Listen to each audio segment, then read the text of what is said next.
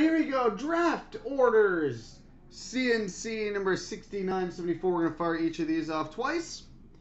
So, tier one, one, two. First pick goes to Kiss Royal, second Camcod 2001. Tier two, one, two.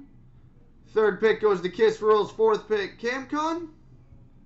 Tier three, one, two. And pick five goes to All. Pick six goes to Boatfeth. And tier four, one, two. And pick seven goes to River Dude. And pick eight goes to Kings Fan Bob. So there we go, boys and girls.